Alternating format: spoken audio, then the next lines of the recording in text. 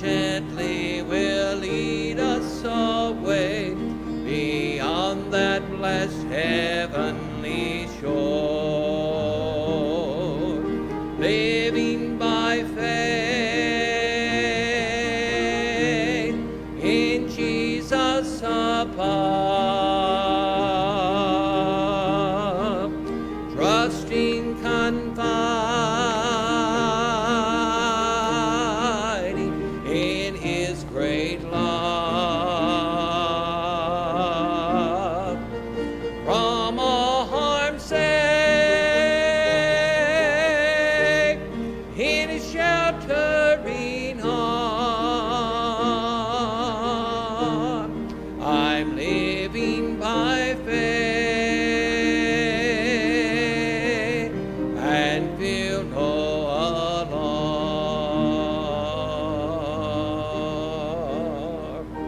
Now, how many of you have never sung that song before? Wow. Now you can say you've sung it. Amen. And more importantly, you can live it. Living by faith. The Bible says the just, the righteous man shall live by faith. And that's what we're living. To save by faith, walking by faith, and we're going to enter the presence of the Lord one day by faith. Well, good to see you out tonight. Let's go to the Lord in prayer. Ask His blessings on our time together tonight. We have a missionary family with us tonight. Be sharing with us in just a few moments.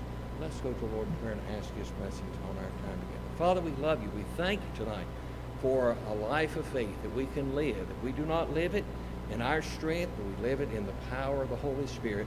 And we thank you tonight for all of these that have come, turned aside from the cares of life to come and be in the house of God tonight. Those that are watching by live stream, thank you for their tuning in tonight. And I pray, Lord, that we would just meet together in heavenly places in Christ Jesus. I pray, Lord, as we sing the songs, may they stir our hearts, and then the Word of God as it comes forth in a few moments, as we hear from uh, this dear uh, missionary family concerning the work that you're doing there in the Philippines. I pray, Lord, that you would touch our hearts afresh. Father, be with our young people as they meet next door. And I pray that someone would trust Christ tonight. Lord, get honor and glory to yourself through all that is said and done. We praise and thank you for that. We pray in Jesus' name. Amen. You may be seated just for a moment. And we're going to just mention a couple of uh, prayer or a couple of uh, announcements to you. Uh, this coming Sunday will be our last uh, effective home visitation uh, meeting. Uh, we, of course, are preparing for the following Saturday, which will be our actually going out, beginning our visitation. And so we encourage you, if you can, be with us 9:45 for our training, and then next Saturday, the, 5th, we will be meeting here at 10 o'clock and being able to go out and, and make some difference there. And so we'll be saying more about that to you as we get a little bit closer in. But for our young people, uh, this coming Friday, the 25th, from 6 to 8 p.m., in the Family and Life Center for ages 8 through 16 will be there Fired Up Fridays. And so if you have children or grandchildren that would fit in that age group, or you know some young people, would love to have them come and have some time of fellowship. They'll have some food, but also a time of being able to share the gospel with them and so you trust you'll pray for that, that God would be honored in that. And then, of course, uh, we've been encouraging you to um, uh, share with us loved ones that you may have that are unsaved or unchurched, and uh, simply fill out one of the uh, index cards. We Have those on either side of the uh, auditorium on the speakers or out in the lobby. Just simply fill that out, place it in the basket underneath the um, communion table. We're going to begin, be beginning that uh, the first of next month and be just spending some time, give you an opportunity to be able to come, take a card back to your seat, and just have a moment of prayer, praying for those lost loved ones, and what a difference it can make. And we've seen so many people come to know Christ through that means, and you get a different card every week, so you're rotating. You're not going to have the same people necessarily that you're praying for every week, but everybody will be prayed for. And, uh, you know, it's, it's, it's an encouragement, not only for you to pray for, for your family and your friends that don't know Christ, but to have other people that are joining together in that and bearing that burden with you. And what wonderful uh, results can come because of that. But keep that in mind if you would. And then, of course, on Thursday, March the 3rd, we'll mention this again. Sunday, 6.30 p.m. will be our information question and answer meeting uh, concerning the uh, desire to begin a Christian school and all the members of the church would uh, would love to have you come. We'll have uh, Brother Enoch Wilson, pastor of Lighthouse Baptist Church and also Lighthouse Christian Academy. He'll be here to give us some information as well as we will have the the SCAC's executive director uh, that will be here as well. So a lot of good things. We had a meeting this week with the ACE uh, representative, and uh, we'll have some samples that you can be able to look at. And so come with all of your questions, and they will answer them. Not, not the pastor myself, but they will answer them. They're the experts in these fields. And just be praying mainly. We would love uh, for God to uh, raise up a school in this area. The closest uh, Christian school, as far as I know, is Tabernacle, and that's about 20 minutes away. And there's a, a lot of people between here and there. And so pray with us concerning that. We just want the Lord's will concerning that. All right, uh, we're going to stand and sing once again another song, A New Name Written in Glory. I'm glad that when we're living by faith, that all began with us standing and uh, trusting Christ as our Savior. Let's stand. We'll sing all three stanzas. A new name in glory. I was once a sinner, but I came pardon to receive from my Lord. This was freely given, and I found that He always kept His word. Name written down in glory, and it's mine. Oh, yes, it's mine. And the white robed angels sing the story. A sinner has come home. There's a new name written down in glory, and it's mine. Oh, yes, it's mine. With my sins forgiven, I am bound for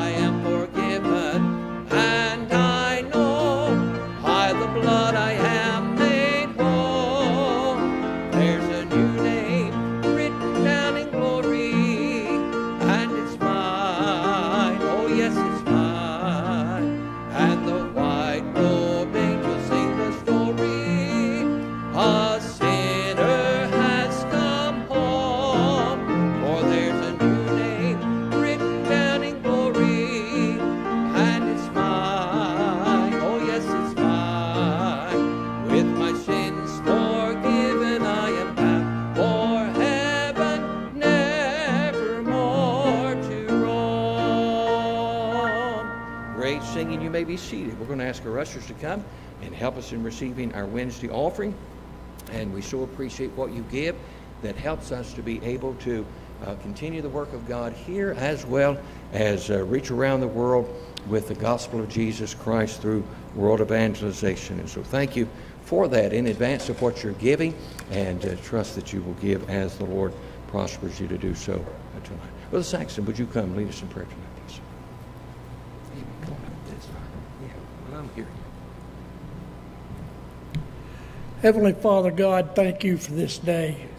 Thank you, God, for everything you do, especially what you did at Calvary, God. And I just thank you, God, for letting us all come out tonight and bless us, God, and bless the ones that didn't get to come, God.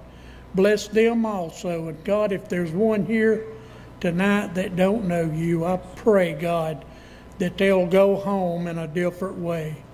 And God, I just ask you to take these tithes and offerings and use them for the uplifting of your kingdom.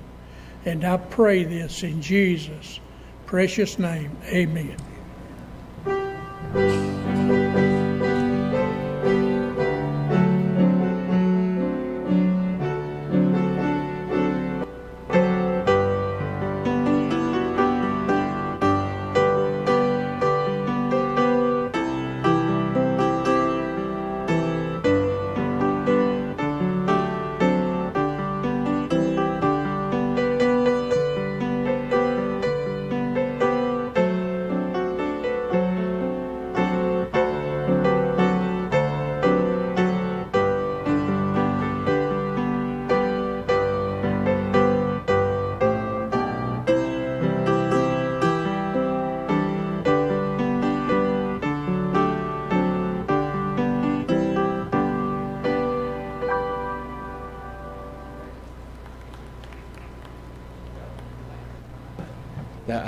Miss Gina sang.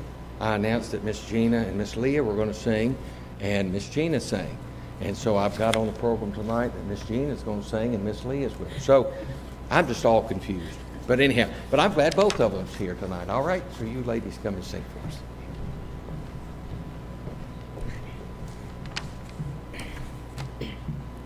She didn't have very much to give, nothing that you could recall. A widow without very much to give, only two mites, that's all.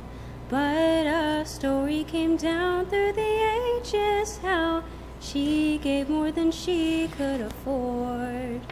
She didn't have very much to give but she gave it all to the Lord. Some gave up their abundance, some sacrificially.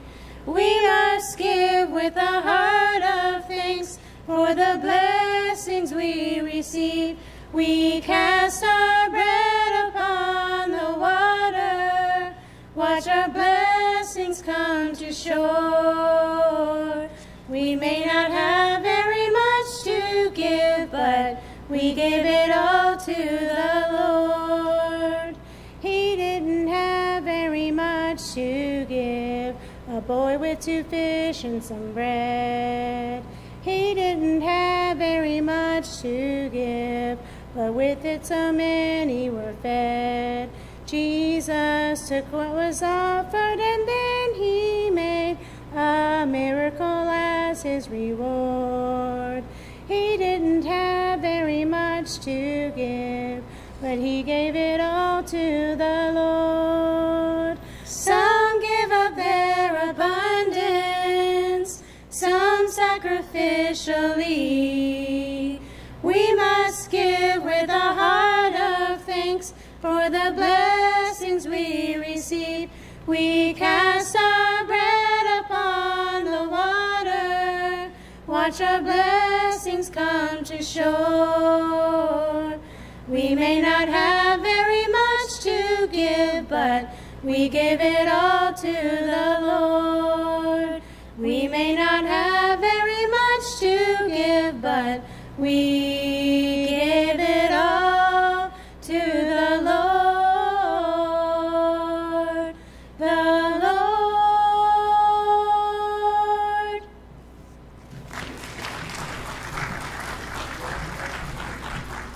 thank you, ladies, for that. As I mentioned earlier, we're glad to have a missionary family with us from the Philippines. One of our uh, missionaries, uh, veteran missionaries, I think uh, 15, 16 years you folks have been uh, missionaries here at the church.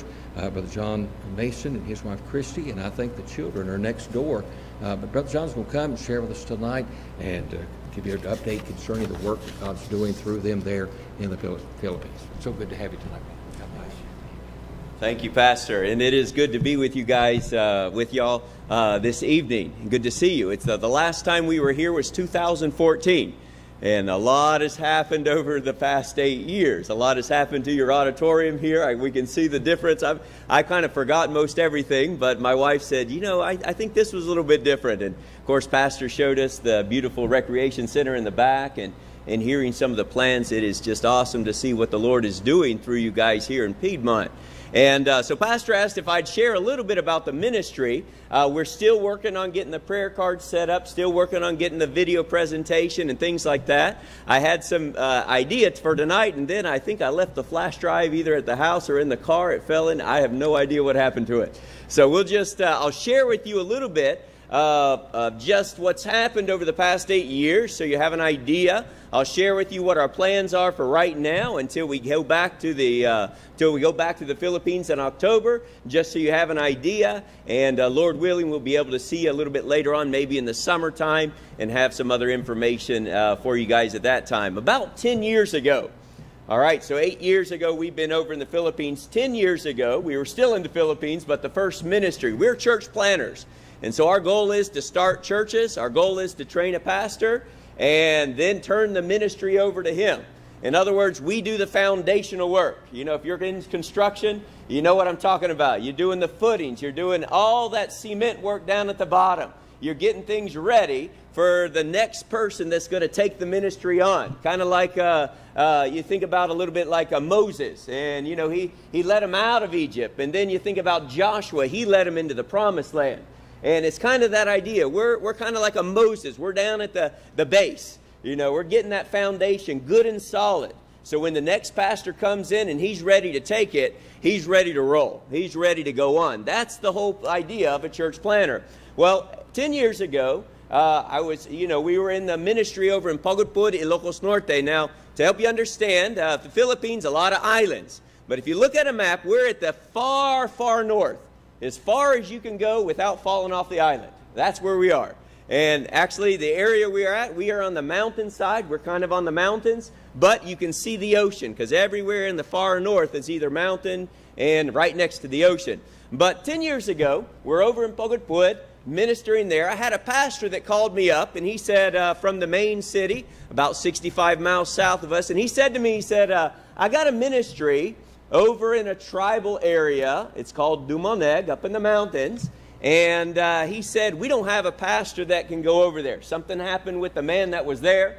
And he said, You got any men in your church that could go over, take this ministry over? I said, Give me a little bit of time. Let's pray about this.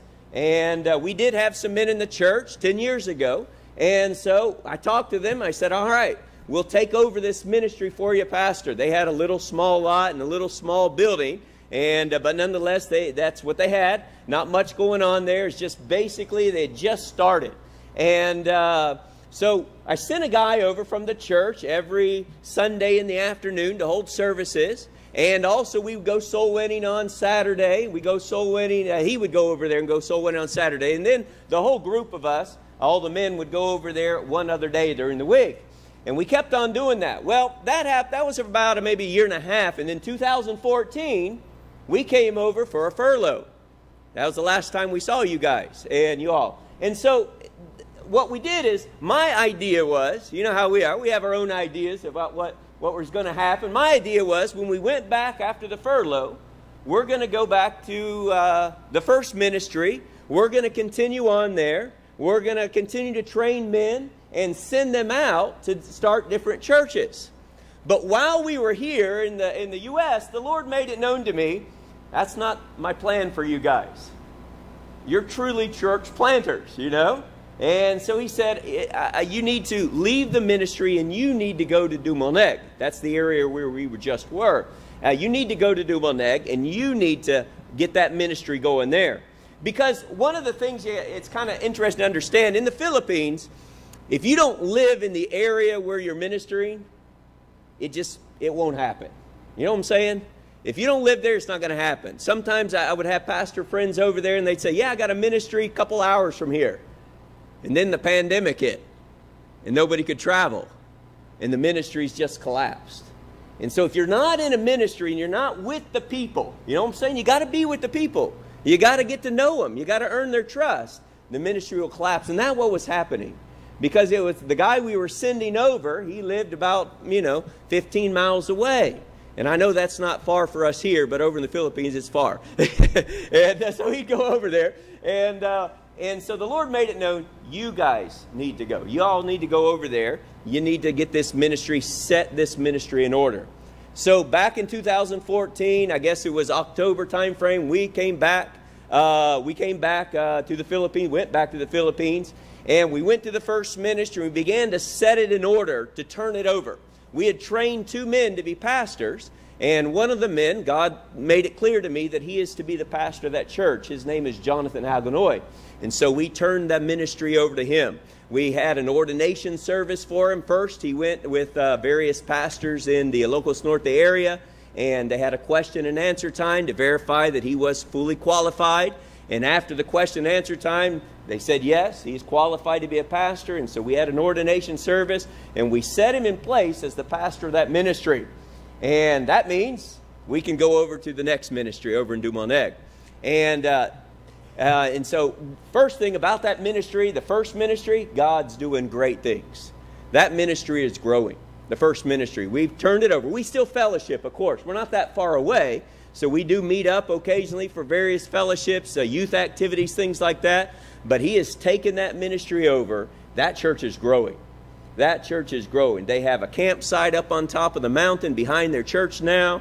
Uh, they have additional couples that have joined the church, a good youth program. They got uh, a deaf ministry there. They're doing a, he's doing a great job. That's what it's all about. You know what I'm saying? That's what church plan's all about. And so we're excited about that. When we started the ministry in Dumalneg, I had told Christy, I said, this is going to be a tough ministry. It's going to be tough. It's going to be harder than the first one. And you say, why? Why do you think? Because the ministry, it's a tribal area. And, and you can imagine the tribal idea. They have their own language, you know, so it's not just Tagalog, the Filipino language, and then where we are is Ilocano, another language, and then no, they have a third one. They speak Yapayao. And uh, so we, we knew it was going to be challenged because in a, in a tribal situation, they're just kind of, it's like a big family, you know, really tight. Everybody's interrelated, and you get the idea. You offend one, you've offended them all. You know, that sort of idea. And, and so we knew it was going to be tough, but we could see God opening doors. Again, how do you find a house? You know, it's not like you have a rental, you know, a, a rental sheet over in the Philippines. Basically, you find a house by talking to a few people. Hey, you know of any vacant houses available? You know of any vacant houses nobody's living? And so eventually somebody was able to talk with me. He said, Yeah, I said, We've seen a house up at the top of the mountain. Nobody's there right now, or I think the owner's in Manila, something like that. He said, Why don't you talk with his wife? Gave me the number. There you go. Got an open door. You know, so now we're in. Now we got a place to stay. And so, how do you start a church, right? What do you do when you start a church? Well, you got to get to know the people. That's, that's what you're getting ready to do, right? You're having some soul winning training right now, and then March 5th, you're getting ready to go out. Well, you got to get to know the people. So pretty much my as a church planter, that's what I do all the all, every day. You know, I have a little bit of time, a preparation of lessons, uh, reading the Bible, things like that, and then you just go out in the afternoon. You start talking to people on the street. You start sharing, giving out gospel tracts.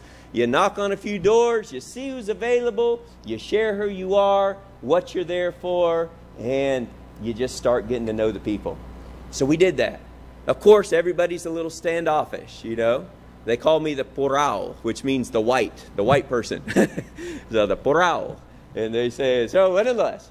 And uh, I'll share with you right now a few of the stories of the main people in the church. Right toward the beginning of the ministry, there was a young lady named Ursi Kamali. Recent graduate of college in special needs. She worked with special needs and uh, very good in English. And so she would come by the house with several other teen girls. She's like top of her class, you know, graduated with honors, all that sort of thing. Very knowledgeable. And she'd come by the house. I would be gone. She'd talk with Christy, my wife, and, and the kids, and she'd say, Why are you guys here? You know, what are you here? Why are you in our community? And so Christy would share a little bit. And one day, Praise the Lord, I happened to be home, or I came home while they were still there. And she asked me that question, you know, this time in uh, the, the local dialect, and she asked me the question, and I said to her, I said, because you need Jesus. You know, what? we're going straight, we're going to go straight for the jugular. You know what I'm saying? They, they need the truth. I said, because you need Jesus. What, what does that mean? And I said, because you're a sinner. And I had an opportunity to share the gospel pretty in depth with her that, that evening. And she thought about it. She did not trust in Christ that evening, but she did a few days later, to my recollect. And she trusted in Christ. And yes, there was immediate persecution. Immediate persecution. Her family basically put her out. That's what happened. Uh, put her out. Her other classmates started laughing at her, wouldn't have anything to do with her. The only ones that would have anything to do with her were the teens that came to church along with her. And when her family put her out, she had no place to go, so she came and stayed with us for a while. And that was a challenge, but while she was there, uh, staying with us, we're helping her grow spiritually. We're working with her to grow spiritually. While she was there, we invited a missionary, a Filipino missionary going to uh, Vietnam, Ho Chi Minh City. He came by and she told us after the service, I believe God's calling me to be a missionary as well. What should I do? I said, Well, Ursi, you need some Bible training why don't we why don't we send you to Bible school in Manila? Get you trained there. That way she has good influence, right? She's with other young ladies uh, to, to learn about the Bible, and it's a good influence instead of the community which is just literally beating her down. And so we sent her there. She got a like a two-year degree, and uh, just started growing. Very helpful in all matters. I mean, it, we praise the Lord to her because of her testimony. Many of the teens that are faithful, college students right now, are still in the ministry because of her testimony. And so we worked with her. We met a Filipino family that is also missionaries in Ho Chi Minh City and uh, got together with them. And right now, she's been in Ho Chi Minh City. She's been in Vietnam for three years now, a missionary out of the church. And that's, that's a blessing. That is just a blessing. Uh, uh, what is Ursi is doing right now. We occasionally talk with her a little bit and just hear what she's doing. It's been a challenge, of course, you can imagine, uh, in a communistic country, especially with this COVID stuff. And yeah, they locked down pretty hard, but they have still been able to keep on going and still reaching people. And so that's one of the big blessings. Another family that was a big blessing to us was uh, Charlie Marr and Emily uh, Castro, a young couple when we met them.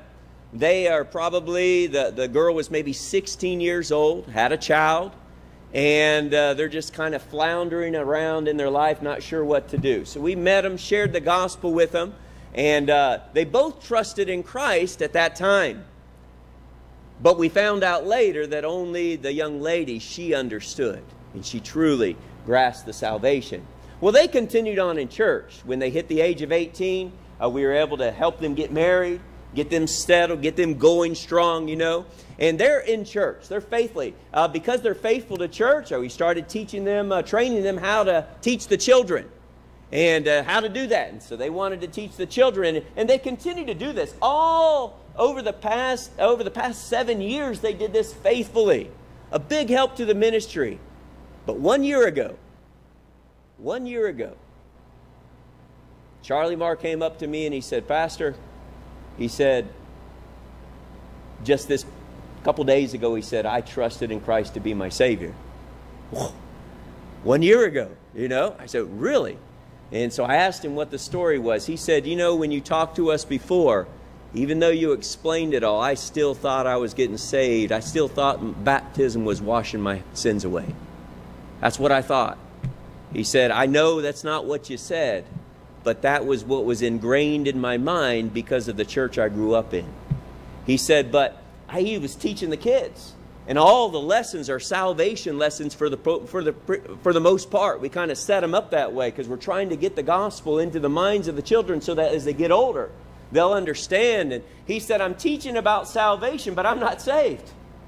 I'm teaching these how to be saved, and I'm not saved. And he said he went home after church one evening, and God was just, just working in his heart. The Holy Spirit's just working. And he said, after the family went to bed, I got my Bible out, started reading it started talking to God, I got it settled. Settled it long ago, right? As the song says. And just as Paul said, I know whom I have believed.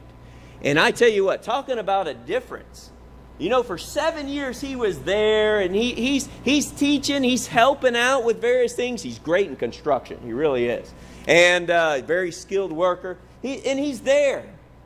But you know something? Once he got saved, once he got saved, there was a difference this past year. Now he wanted to reach his family. I'd been always telling him, Charlie Marr, we need to get over to your family. They lived in a different city. We need to go over there, share the gospel, because they're way out in the middle of nowhere. I said, we need to get out there. And he'd say, yeah, yeah, we do, but I don't know if they want to hear the gospel. He'd say stuff like that. I don't know. They're probably not interested in the gospel. That's what he would tell me. But we need to, Charlie Marr. This is important. No. But when he got saved, what do you think he said? My dad, my mom need to know this. And so we, he started going over. I said, Charlie Marr, this is all you.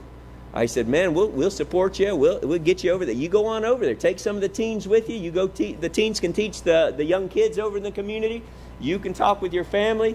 So every Monday night, he started going over there. You know, every Monday night. And uh, then right before we were getting ready to come back here to the to the states, he said to me about, this is probably now about two months ago. He said, Pastor, can you come and talk with my parents? I've been sharing the gospel, but it's like something's missing. I don't know. And I said, Well, I'd be honored. And so I went over with him one evening, and uh, and his dad asked me because I knew his dad. I said, he said, "Why are you here?" And I said, "Well, actually, I'm here because your son cares for your soul." You know, and so I had the opportunity to share the gospel to his father, Charlie Marr's father, and his and his wife, and they both trusted in Christ that evening. Uh, she, I didn't think the, the his uh, I didn't think that his uh, Charlie Marr's mother was interested, but boy, after a little while, she stopped cooking. She came over, sat down, started listening, started answering questions. You know, trusted in Christ to be the Savior. And wow, we found out about a month ago as well that somebody in the community had told Charlie Marr, "Hey, I got a little piece of property over here." You want to build a little lean-to, something like that, what we call a kubo kubo over there, like posts, a couple posts, and then you have the the uh, like uh, uh, palm leaves. He said, if you want to build something like that, whatever size you want, so you can hold little Bible studies, go ahead. What a blessing! That's what Charlie. That he has been a blessing to us, and it's just great to see what he and his wife are doing. And, and what they're doing right now. Uh, another a young lady in the church is uh, named Mimi. Mimi was one of the first who trusted in Christ back 10 years ago. But she was kind of, you know, she'd be faithful to church on Sunday morning, but that'd be pretty much it. But God started working in her heart over this past couple years. And literally what happened is, is uh, she said, my husband's not saved. My husband's not, how, how can I reach my husband if I'm not walking with God? You know, I'm, I'm trying to tell my husband this is important to him, and he's looking at me and saying, If it's so important for you, why aren't you at church today? Oh, that's pretty tough. yeah, that's pretty hard. when you're sitting at the house and your husband says to you that's not saved, hey, you should be at church right now. Why aren't you over there?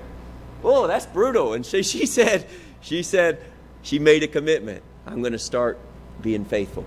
And because of her faithfulness, she, she, of course, she wanted to start teaching her kids. Her one daughter trusted in Christ to be her Savior, and Christy started training Mimi to be a teacher, a Sunday school teacher for the youth, and Mimi's doing well.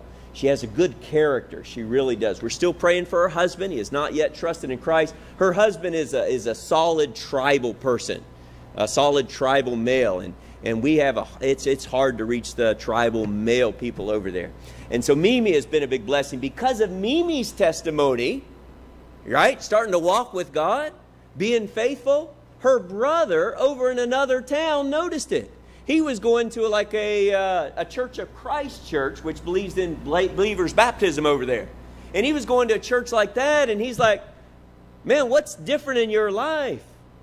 Yeah, that's what he said. He said, I see difference in your life. I don't get it. It's not happening to me. It's not happening at our church. I want to know what's going on. So she invited him to a Valentine's banquet a couple years ago, a year ago or so. And uh, so he came on over. So I talked with him, and then a month later, this is this past March, I, I was able to catch him uh, at the house and share the gospel with he and his wife. And his wife trusted in Christ that evening. Jim Boy, though, he said, you know, I, I got to think about this a little bit. He had, he had a lot of things going on in his mind.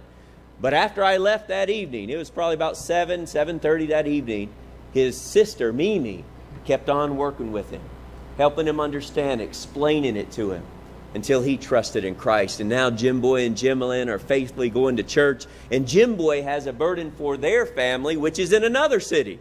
And they're that that's a little it's, it's kind of a rural area. You you take a single motor like a dirt bike over there, then you go up a little mountain, go down a mountain, then you park your motorcycle, and then you walk up a mountain and walk back down again. That's where his family is. And uh, so we've been, we've been able to share the gospel to his grandmother, who trusted in Christ, and one of his aunts. I mean, it's just, again, you know what I'm talking about. When the gospel gets into a person's heart, man, I'm, there's a difference. And they want to get the gospel out. Pastor, what time is it? Just so I don't go too long. 20 minutes. All right. So we praise the Lord for Jim Boy and Jimelin.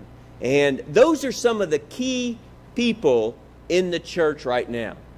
Now, the question probably some of you have all right, if you're here, Pastor, right? Then what's happening over there? Who's the pastor? Isn't that the question? That's, that's got to be the obvious question for many people, and that's a good question. Well, I'll share with you a little bit. Two years ago, we believed the Lord would have us take a furlough. I was praying about it, right? So, six years ago and praying about it. But God made it very clear no. It was just clear as can be. As we were praying about it, no. And I kind of know why, because right after that is when this uh, pandemic hit. And uh, so we praise the Lord for the opportunity to carry on the ministry through that time. The Lord was gracious to us. We, it was a battle, it was a spiritual battle. And I know the challenges here. I know it's challenging for you guys. And, and uh, it, it, in a communist country, you can imagine, it's just a mess. And, and we literally battled with, the, I felt like I was battling the officials. And you don't want to battle the officials. You know what I'm saying? It's, it's not what, what you want to do. And, and I felt like that. But I praise the Lord that they pretty much left us alone. We only had four services that I think it was four, yeah, four services that we were not allowed to meet. And then after that, they just kind of left us alone. And uh, they really did. And so we were able to continue on with the ministry. We were able to continue on with all the programs. And the Lord was gracious to us in everything that happened. And praise the Lord, you know, we, there was some COVID that did go through our area. Uh, it did. It didn't. It wasn't a. It, it, it seemed like in our area it wasn't a severe strain. Uh, there wasn't a lot of heavy sicknesses, that sort of thing. It was pretty mild for the most part. It, you know, they, they're different strains. It's kind of hard to explain, but we praise the Lord for that. But anyway, so that was two years ago. One year ago, we began to pray and ask the Lord the same thing Lord, what about this year? Is this the year to go? And so while I'm in my devotions one day in the book of Luke, I'm reading the parable that, uh, you know, the parable about the, the, the, tree that's not, not bearing fruit, right? And, and so what do we cut it down? And the, and the gardener said, no, let us, let us dung it a little bit. Let's put, some, uh, let's put some fertilizer around it, you know, some manure around it. Let's see what will happen. And God spoke to me that day to let me know, no, that's what you're going to do for this next year. You need to fertilize this ministry because we, we haven't been able to train a person to be a pastor. And like I mentioned, these people that I mentioned to you just earlier, most of it happened in this past year. Most of it. You know? Charlie Marr getting saved, Mimi becoming really faithful, Jim Boy and Gemelin. Uh, of course, Ursi's already in Vietnam. I mean, this just happened the past year. And uh, it's just wow. And so, anyway, so we're, we're thinking about this. And so we knew as this year came to a close, this past year, all right, what are we going to do? I had a friend of mine, the guy I was praying with, talking about down in Manila, maybe he could come up. But it didn't happen, didn't work out. All right, you may have gotten our, third, our December prayer letter about that. And, and that was December when I found out it just it wasn't a wise decision. So now what am I going to do? And as I'm, I'm literally just begging God, God, I, you know, I need an answer. I need an answer. I need to know because we're leaving January 28, 28. That's our flight date. We're coming over. And now it's December 15th, 16, you know, 20, something like that. And we don't, we don't have a lot of time here. What am I going to do, Lord? And so I'm begging God. And, and God made it clear to me. He said, You know, just as I entrusted this ministry to you eight years ago, 10 years ago, you know, another pastor, he called me up, said, I got a ministry for you. Can you take it over? He said, God said, that's exactly what I want you to do with this ministry as well. There was another pastor in our area, a little ways away, and uh, a little ways away from us, but he had just started his ministry when the pandemic hit. And so you can imagine it's you really it's hard to keep it going. You know what I'm saying? And it's hard to visit. It's hard to do all of that. And so he's he was struggling, and I knew it. And I, and I, I talked with him occasionally, and and he, he was solid in soul winning, solid in his doctrines. And uh, his wife, they're from Ilocos Norte, so they speak the language, you know, and, and uh, so really good. And, and so the Lord said to me, made it known, you need to turn this ministry over to him. That's what you need to do. Turn it over. And you can imagine, you know, for eight years, you poured your heart out into the people, you know? Prayed for them. We still pray for them and the teens and the youth that come faithfully. And and all these that are so precious to you and then just turn it over, Lord? Is that, is that, that what it is? God said yes. This is the person that can take this ministry on to perfection. You know, as the book of Hebrews talks about, let's go on to maturity. Let, that's, this is the person to do it. So I did. I talked with the man. I talked with his uh, senior pastor. We kind of lined it up, and basically, the ministry is turned over.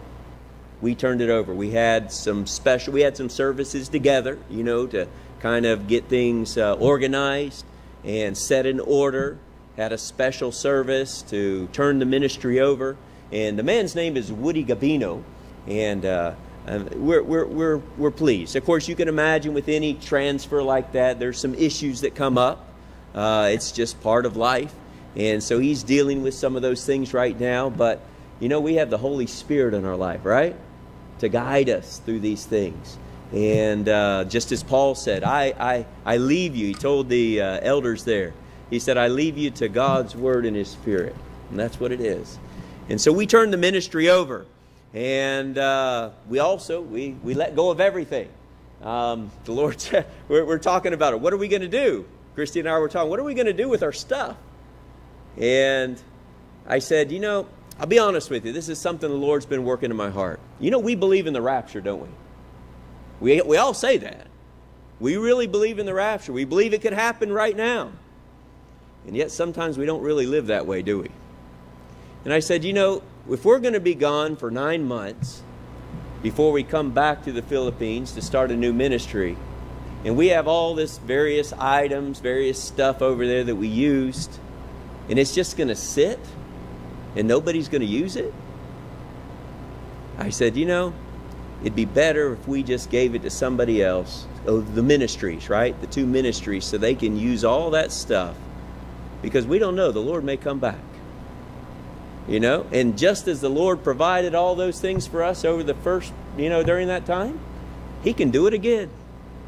And what did He say? The Lord, what did Job say? The Lord live, giveth, the Lord taketh away. Blessed be the name of the Lord. So that's what we did. We distributed the things to the different churches and stuff like that, and and uh, prepared to come over. The story of coming over was just uh, a story of God's hand. Uh, literally, two weeks before we wanted to, getting ready to travel down to Manila, drive down to Manila, get the airplane out, we got COVID. It hit our family. Two weeks. Can you imagine that? Two weeks before that. You know, two weeks. Kind of ironic. I it, got it from my son, our oldest son, Hudson.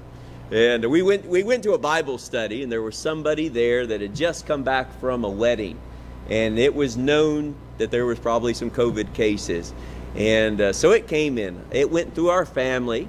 It wasn't a heavy, it wasn't a strong thing, you know. Um, it, was kind of uh, just some uh, flu like symptoms. And it hit Christy the hardest. She had a little cough for a while.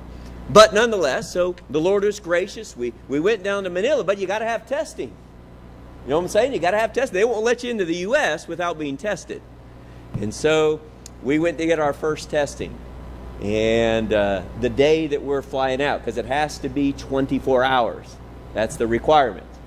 And all of us tested. Uh, well, there was there's five of us. Three of us tested negative. Two of, two of them were positive. Christy and Kyla. Like, oh no, you know they're not going to let us on the plane. What are we going to do? So we go out in the car. We're praying, Lord. You know what? Uh, are we gonna are we gonna do the quarantine for another week here in the Philippines? Reschedule the flight? What do we do? And, and the Lord made it clear. We prayed about it. Get another test because those tests are kind of weird sometimes. So we did. The next test, they were negative. So praise the Lord. We're ready to go. And uh, amen. So we used the test from the one and Kyla and Christy's test from the other. We go to the airport. We're waiting there. And guess what? They overbooked the flight. but that's okay. The Lord, they put us up in a hotel that night, and uh, it was we needed the rest. To be honest with you, we were pretty worn out from all the mess there, so we needed the rest, and they were very gracious to us. But we had to get tested again, right? You had to be tested again because now the first tests are not valid because got them in 24 hours. So we go to the testing site again, right near the airport. We test. I'm talking to the the boss guy and sharing the gospel with him a little bit, and and so we all go through the test. This time we're all negative, except for Christy. She's positive. They said. And so I was like, oh, okay. What are we going to do? But, anyways, the guy motioned to Christy. I'm talking to the guy, and he motioned to Christy back in the room. And I didn't know any of this. You know, I'm, I'm clear of this. And he said to her, he said, Your whole family's negative. He said, You're the only one positive, but you don't have any symptoms. You're kind of asymptomatic, you know, because he was doing okay. And he said, So I'm just going to give you negative so you guys can get on the flight and go home. And so, amen. Amen. And that, that's what God did. And you know, the time that we were supposed to fly, the time that we were float is when that big snowstorm hit up in up in uh, New, New England area, right? And we were flying into JFK, so we could we wouldn't have been able to get out anyways. And so the next day, we came in the day after, right? And at that time, everything was cleared up, and so we had no problems getting in. And so God was just it's just showing His hand, showing that His greatness, His goodness, which He is, right? We know that. That's what it's all about. And uh, we are planning to stay here right now for nine months. I know it's uh, last time we were only here for six months, and that was because of our visa. This time, uh, our visa has to be renewed every November. And you don't want to lose your visa right now. There are a lot of missionaries from the Philippines that are stuck in the States right now. They can't go back because they, they only allow you, well, right now they're opening up again. Right now. But before, they wouldn't let you back in. It didn't matter unless your visa was uh, active.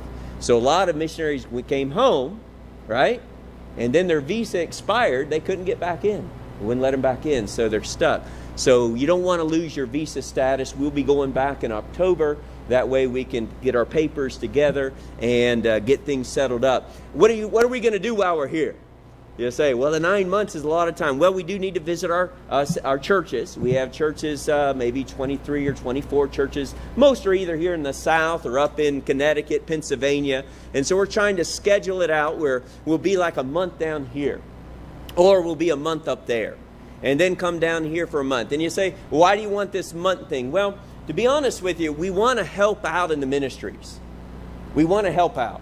We really do. Um, I'm not one that sits around. I don't like to sit. You know what I'm saying?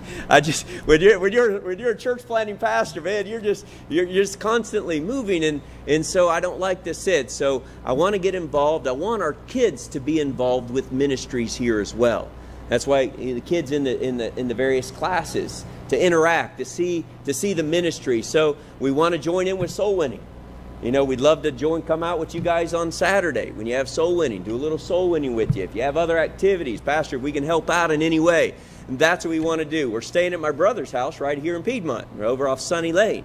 And that's where we're staying right now. When we go up to Connecticut, um, there's, a, there's a friend of mine from our sending church up there that is starting a ministry in New Haven. And he's already asked, he said, We need your help. Can you help us out starting this ministry? So, hey, while we're up there, we're going to be soul winning, doing a church plant up there. They also have a Filipino ministry up in Connecticut because uh, right around New Haven, uh, there's a lot of Filipino nurses and doctors up there. And so they have a Filipino ministry. And of course, while we're up there, we can teach the Sunday school classes as well. And so that's our, that's our desires. Uh, when it comes summertime for the camps, things like that, man, we want to be a part, get our kids to the camps, let them experience this sort of thing, the camps here, and be involved. If we can teach, if we can help, we can visit, whatever we can do. That's our goal until the month of October. And yes, we are here. One of the big things we're here for is to see our family. You know that. It's been eight years. Uh, both of Christy and I's parents are getting up in age. And my parents, you know my parents, Bill and Nancy Mason, they're, they're 80, they're doing well. They're still faithful in the ministry. And, uh, but I, I, can see they're, they're, they're, they're, they're getting a little bit weaker, as they say. Christy's father's been struggling with cancer. Uh, he lives over in Williamston. And uh, so uh, he's had both of his legs amputated, and so we're not able to see him right now because he just had some services, uh, some things done in the hospital, and so they advised him, you know, wait two weeks that way before you meet anybody. So we're holding off before we see him, and uh, but that's that's kind of what's going on right now with our lives. And when we go back, you say, where are you going? Well, we're praying about an area called Panchen Pasali, and it's it's all the way up in the top again but it's the very last, uh, I guess you might say, city before you cross over on the other side of the Philippines. Like, in other words, if this is the Philippines right here, you know, and you have the middle, which is mountainous in the middle, we're on this side. We're on the west, uh, yeah, on the west side. And before, on the east side, is on the Pacific Ocean side. So we're on the West China Sea, or the Philippine Sea as they call it. That's the side we're on. But we're going to work in the ministry uh, right on the border. And it's a mountainous area, it's a very rural area. The, the trades there are fishing. They have little boats they take out all the time.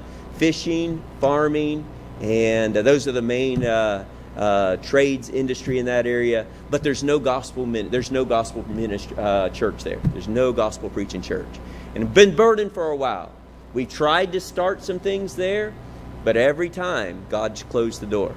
God closed the door. But as we're praying about it, it looks like God's getting ready to open the door. And so we are excited. We're excited about getting back there, starting new, starting fresh. It's like 16 years ago when we went over to the Philippines, you know, starting new and uh, getting those foundations going. It's fun to do the foundation work, you know, it really is. It's a challenge because, you know, brother, when you start the foundations, you got to get a solid foundation, right? If it ain't a solid foundation, especially with what's going on in the world today, all this crazy philosophies coming through today, if it's not a solid foundation, it will collapse. And we don't want that. That's not what God's desire, right? And so we're going to set a solid foundation, solid salvation, solid assurance, solid understanding of the Bible, how to read the Bible, get into the Bible, so that they can go out, start ministries, reach their families, because the foundation's been set. And Pastor, that's what we're doing. That's what God has called us to do, and and uh, we're just we're we are honored and privileged to be a part of your missions program here. Uh, from the very beginning, you've supported us, and we, we know that. We, you guys pray for us. Occasionally, I would get an email from a couple, uh, occasionally from you guys, and just saying, hey, just letting you know we're praying for you. We appreciate that. We really do. And uh, Lord willing, you know, later after we, we're still working on our video and getting that all set up. And once we get that all set up, some prayer cards, we'll come back over again, show you the video. That way, some of the names that I mentioned, you'll see their faces and you'll see what God has done through your prayers and support. Because everyone that is reached over there is part of your account. That's what it's all about. It's part of your account. In the ministry right now, there's there's 27 saved and baptized that are faithful to the church. Right now, there's generally there's about 25 children that come on an average Sunday. So it's like 55, 60 that come over there, but 27 are saved and baptized and faithful, and they know it. They can share the gospel. That's fruit to your account. That's what it's all about. That's missions. And that's what's so exciting, right? Reach the gospel. Pastor, that's what I'd like to share here.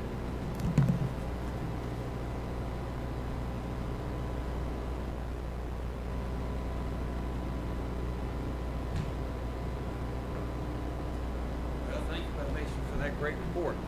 And uh, isn't it exciting to hear that God's still saving people outside of Piedmont?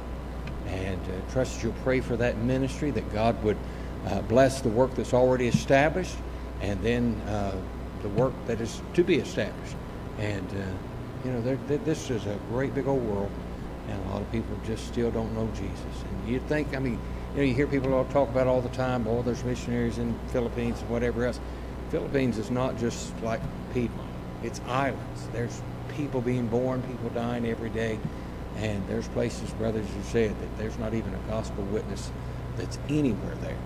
And so certainly be praying for this work that God will continue that. Amen. All right. Well, it's prayer time. And uh, we certainly want to be praying for the Masons that the Lord would bless them uh, in their time that they're home, but also the ministry that uh, He is uh, calling them to there. And uh, wonder if you may have some prayer requests tonight you'd care to share with us. We'll start on my left and your right. Go right up the aisle there. Prayer request, Yes, ma'am.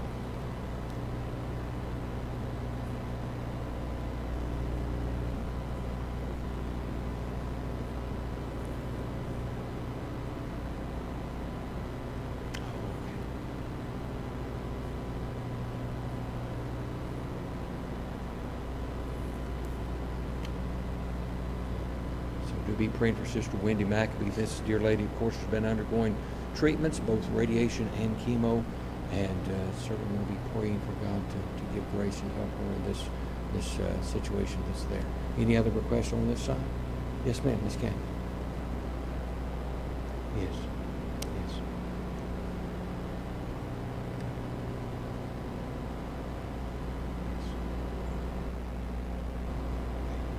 Keep him in our prayers. Amen. Any others? Brother Rod. All right. Spoken request. All right. Yes, ma'am. Thank you for that. Yes, ma'am. Okay. Yes, just want to be praying. All right. Any others? In the center section, prayer request. Yes, ma'am.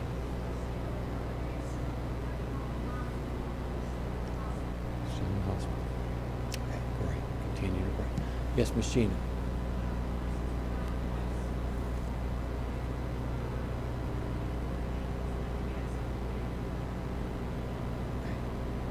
Certainly remember her. Yes, ma'am. Okay. Any others? Yes, Miss Pritchard.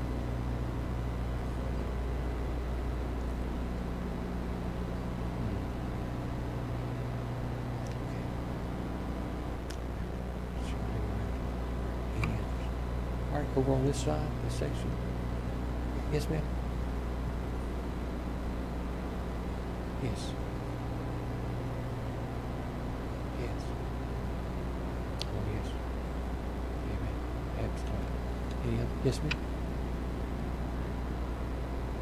Yes.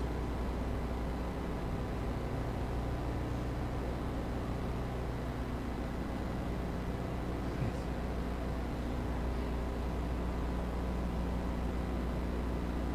Yes. Sure. Miss Tina?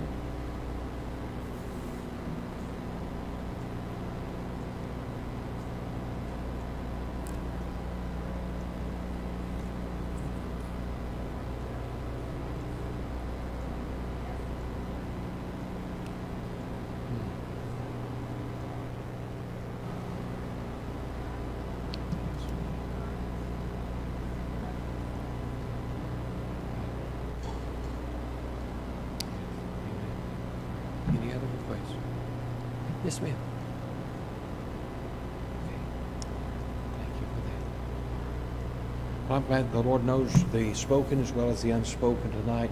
So let's go to Him in prayer and just ask for His guidance, His direction, His wisdom in uh, each of these situations. And uh, do, do continue to pray for a uh, friend of ours.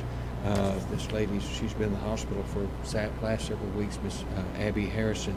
And uh, the good news, her, her husband contacted us, and she, of course, at one time was on 100% uh, life support, and uh, now it's down to 65%. So she is be, beginning to make a little bit of progress. But uh, be praying for them. They've got a, a, a little girl. Uh, their uh, mom is not with uh, her, and then of course the daddy's having to take time off of work in order to, to take care of theirs. So some special needs that are there but they both know the Lord and want to serve Him, and God's aware of what's going on. And we praise Him for every little bit of progress that she's making. So certainly be praying for this family as well. Well, let's, yes, ma'am.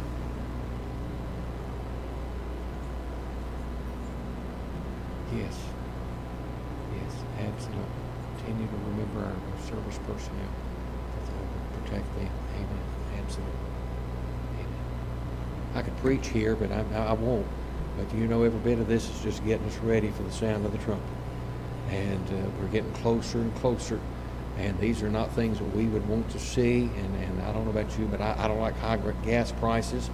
But uh, that's all part of it. And, uh, you know, all of the different things that are there. But it just, just means we're closer to the coming of the Lord. And uh, so uh, that, that just, uh, just stay faithful. Amen. Just trust Him with that. Well, let's go to the Lord in prayer. Father, we love you.